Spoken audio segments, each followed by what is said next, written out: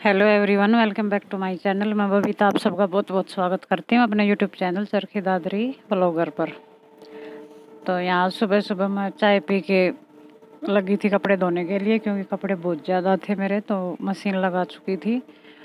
और फिर गेट के ऊपर आ गया सब्ज़ी वाला तो कुछ सब्ज़ी लेके कपड़े निचोड़ने से पहले ही मैं उनको यहाँ धो के रख दूँगी। क्योंकि ये भी एक काम ही था तो साथ साथ यहाँ पानी का काम तो चल ही रहा था तो साथ साथ सब्ज़ी भी धो दूँगी मैं। और फिर मैं यहाँ पे अपने कपड़े निचोड़ने लगी और पानी कल आ चुका था सप्लाई वाला तो वो कल मैं कपड़े नहीं धो पाई तो इसलिए आज टंकी खाली होगी। और ये मंगवाए थे हमने प्याज, ये दो कट्टे प्याज तो पूरे साल के एक बार में हम इकट्ठे ही मंगवा लेते हैं। और ऊपर का झाड़ू पोछा वगैरह होने के बाद मैं लगी रोटी बनाने और यहाँ पे मैंने राबड़ी और लस्सी को मिक्स करके पतीला भर के रख दिया। तो अब कुछ साथ साथ ले लेंगे, फिर बाकी रख देंगे फ्रिज में, फिर दोपहर को ठंडी ठंडी राबड़ी और रोटी। तो यहाँ पे रोटी बनाने लगी। एक बार जाना था मार्केट, कुछ सामान लेके आना था मेरे को। और यहाँ साथ साथ चला रखे हैं भजन मैंने। और मार्केट से आने के बाद फिर से आ गई मैं किचन में तो मैं यहाँ थोड़ी सी बूंदी बना रही थी। तो उसके लिए मैंने एक कटोरी के करीब बेसन लिया था और यहाँ कढ़ाई में चढ़ा दूँगी मैं तेल। तेल में रिफाइंड ऑयल है मेरे पास ये। वरना ज़्यादातर तो मैं सरसों का तेल का यूज़ करती हूँ। और इधर मैं बेसन में डाल दूँगी थोड़ा सा पानी और इसको मिला लूँगी अच्छे से। बेसन को मैंने छान के लिया था, वरना इसके अंदर लम्स रह जाते तो फिर वो मिटते नहीं इतने जल्दी से। और बूंदी का जब ये गोल तैयार करते हैं तो बिल्कुल फाइन होना चाहिए, इसके अंदर कुछ भी नहीं होना चाहिए, थोड़े बहुत भी लम्स नहीं। और इसके अंदर दो चम्मच भर के मैं डाल दूँगी घी, ये बहुत ज़रूरी है बूंदी में। और इसी तरह से रायते की भी बूंदी बना सकते हैं। और वही सिंपल सी रेसिपी उसको चाशनी में न डाले तो वो नमकीन हो जाती थोड़ा सा नम, इसके अंदर डाल ले नमक। लेकिन मैं मीठी बना रही हूँ तो यहाँ पे मैंने इसकी चढ़ा दी है चाशनी और चाशनी को भी मैं इसको चीनी मेल्ट होने तक ही पकाऊँगी। और थोड़ा सा ये इलायची पाउडर डाल दूँगी मैं चाशनी के अंदर, इससे इसकी अच्छी खुशबू आएगी। और चाहो तो इसके अंदर केसर डाल सकते हो या फ़ूड कलर डाल सकते हो तो मैं थोड़ा सा रेड फ़ूड कलर इस गोल में ही मिक्स कर लूँगी। तो इससे कलर इसका अच्छा आ जाएगा। तो चाशनी तैयार है मेरी, इसको मैं कर दूँगी बंद और गोल को रख दूँगी मैं पाँच से सात मिनट के लिए टक के और फिर आठ मिनट हो चुके थे, अब डाल दूँगी इसके अंदर मैं थोड़ा सा बेकिंग सोडा मीठा सोडा खाने वाला सोडा जिसे बोलते हैं। वो डाल के इसको लगातार चला लूँगी। और इस तरह का होना चाहिए ये बैटरी इसका न ज़्यादा गाढ़ा, न ज़्यादा पतला। और किसी जारे की सहायता से आप बूंदियाँ तल सकते हो। और तेल मेरा गर्म हो चुका मैं दो ड्रॉप इसके अंदर डाल के देख देती हूँ। तो अगर ये नीचे जम जाएँगे तो तेल मेरा है नहीं गर्म। और अब ये ऊपर आ गई तो तेल मेरा परफेक्ट है बिल्कुल। तब इसके अंदर मैं डाल दूँगी अपनी इसी जारे की मदद से बूंदी। बड़ा हो तो और भी अच्छा है, अगर जो घिया कस होता है गोल थाली जैसा तो वो भी सबसे बेस्ट है वो तो। लेकिन वो है नहीं मेरे पास तो ये छोटा सा आ रहा था मेरे को तो इसके अंदर एक जगह इसको रख कर, इसके अंदर मैं थोड़ा थोड़ा ये गोल डाल दूँगी। इतनी परफेक्ट बूंदी बन के तैयार होती है। तेल गर्म था मीडियम पे गैस किया हुआ, अगर ये फुल होता तो फिर ये जल जाती। और इसको निकाल दूँगी। थोड़ी देर के लिए मैं इसके अंदर ऐसे ही छोड़ दूँगी। फिर इसको धीरे धीरे से मैं हिलाना शुरू कर दूँगी। और ये अच्छे से खनकने लगे। इसको अगर हम जर के अंदर डाल के हिलाते हैं तो आवाज़ सी आने लगे तो समझो भुंजी तैयार है हमारे। तो इसको इस तरह से हल्का से ऐसे करके देखे तो इसके अंदर आवाज़ आएगी खनखनाट सी आएगी एक। और इनको निकाल लूँगी मैं एक प्लेट के अंदर और इसी तरह से अपनी सारी बूंदी मैं बना लूँगी। ज़्यादा नहीं थे मेरे पास, एक ही कटोरी बेसन का मैं बना रही हूँ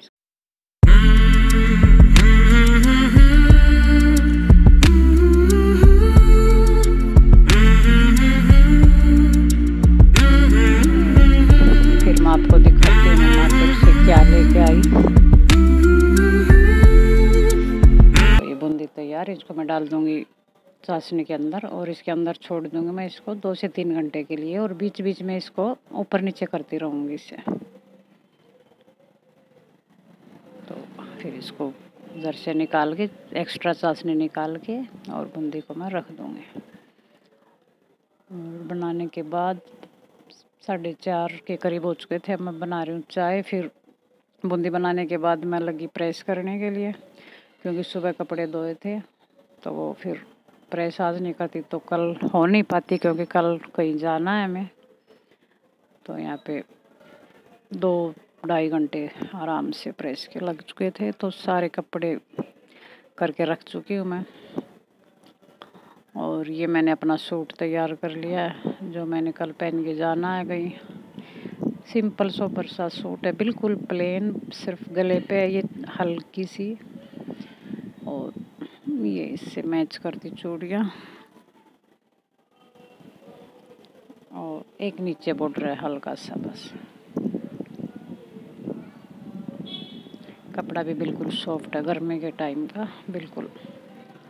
चुन्नी थोड़ी सी ज़्यादा है, क्योंकि ऐसी तड़क बड़क वाली मैं ओढ़ती नहीं हूँ, बिल्कुल सिंपल ही रखती हूँ। लेकिन अब ये सूट के ऊपर है ही तो कर भी क्या सकते हैं। रख दूँगी मैं इन कपड़ों को उठा के और अब मैं दिखाती हूँ। एक तो मैं ये गिफ्ट लेके आई थी और एक ये ये ड्रेस छोटे बच्चे की किसी ने मंगवाई थी मेरे से, ये मैं लेके आई हूँ किसी के लिए। तो उसने ऐसे बता दिया था कि इतने छोटे बच्चे के लिए लेके आनी है तो वो लेके आई थी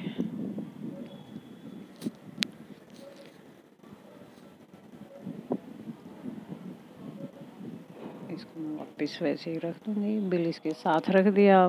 कोई जिनकी है उनको दे दूँगी। साथ में बिल पकड़ा दूँगी उनका मैं। और दो लेके आई मैं चादर डबल बेड की चादर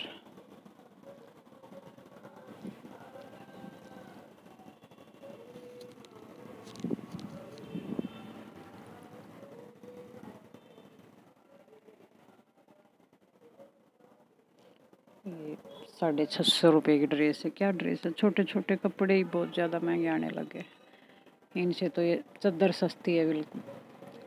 चादर बिल्कुल प्योर कॉटन की पाँच सौ सत्तर रुपये की।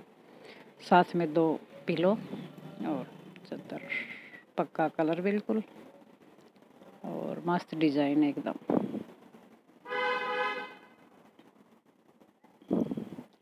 तो गर्मी में तो यही काम आती है कॉटन की।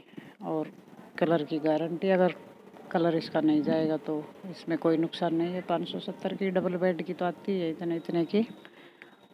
और एक ये वाली, ये वाला डिज़ाइन है इसका, सेम। ये भी इतने ही रुपए के। तो अब छः बजने वाले हैं, कपड़ों को मैं उठा के रख रही हूँ। फिर करती हूँ शाम की सब्ज़ी की तैयारी, पौने छः हो चुके हैं और कपड़े वगैरह उठा चुकी हूँ मैं। रूम सेट किचन सेट अब एक बार फिर वही, जैसे सुबह एक बार सब कुछ भरा भरा वैसा ही शाम को। लेकिन सब्ज़ी बनाने से पहले यहाँ मेरी बेटी लग चुकी थी अपनी कारीगरी दिखाने नेल आर्ट करने के लिए। तो इनको जब कुछ सीखना होता है तो इनको मैं मिलती हूँ। तो कपड़ों पे सीखेंगी तो मेरे कपड़ों के ऊपर हाथ पे सीखना है तो मेहंदी डिज़ाइन सीखना हो तो। तो ये देखिए कितने अच्छे से ब्लैक कलर की नेल पेंट और उसके ऊपर वाइट से डिज़ाइन। लेकिन ये उतर जाती है तभी कपड़े धोना, बर्तन वगैरह करने में एक दो दिन बड़ी मुश्किल से चलती है। जितना लेट किया तो उतना मेरा काम करवा रही है। अब तो ये लगी खीरा काटने, क्योंकि आज मैं बना रही हूँ खीरे की सब्ज़ी। खीरे का रायता तो सुना होगा आपने। और सलाद में भी खाते हैं, लेकिन मैं आज आपको खीरे की सब्ज़ी बनाना बताती हूँ। तो सिंपल सी रेसिपी, वही सब्ज़ी जैसे और आम सब्ज़ी बनाते हैं, वही मसाला।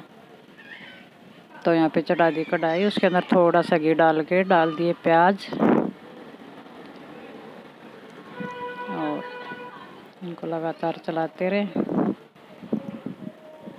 और अब इसके अंदर डाल दिए बारीक कटे हुए टमाटर। और इनको सॉफ्ट होने तक पकाते रहें। फिर इसके अंदर डाल दें थोड़ी सी हल्दी थोड़ी सी लाल मिर्च पाउडर, धनिया पाउडर। धनिया पाउडर मैं बहुत ज़्यादा डालती हूँ, दो चम्मच के करीब डालती हूँ। और फिर नमक इसके अंदर स्वाद अनुसार जाएगा। और इसको लगातार चलाते रहे। थोड़ा सा सब्ज़ी मसाला।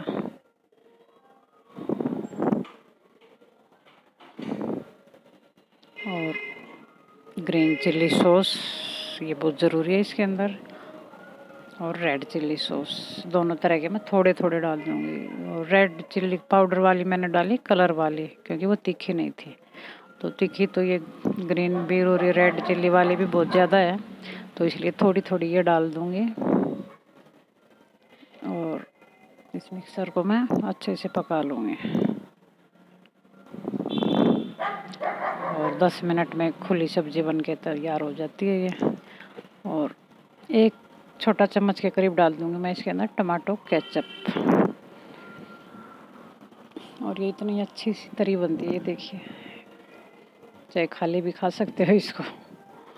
और लास्ट में फिर मेरा वही आइटम कसूरी मेथी, क्योंकि इसके बगैर मेरी सब्ज़ी दूरी रह जाती है। और वो मिलाने के बाद इसके अंदर डाल दूँगी मैं अपने बारीक कटे हुए खीरे। खीरों को मैंने बगैर छिले ही काट रखे हैं, क्योंकि होते ही इतने ज़्यादा है नहीं कि भी बहुत देर लगेगी या हार्ड हो इनका छिलका। तो बस पाँच सात मिनट में खीरे की चटपटी सब्ज़ी बन के तैयार। अगर आपको मेरा ये ब्लॉग अच्छा लगे थोड़ा सा भी आपको पसंद आए तो वीडियो को लाइक करना, शेयर करना। और अगर आप मेरे चैनल पर नए हो तो मेरे चैनल को सब्सक्राइब करना बिल्कुल मत भूलिएगा, जिससे कि आपको आने वाली हर वीडियो के नोटिफिकेशन मिलते रहे। कल मिलती हूँ मैं आपसे एक और नई वीडियो के साथ, तब तक के लिए नमस्कार।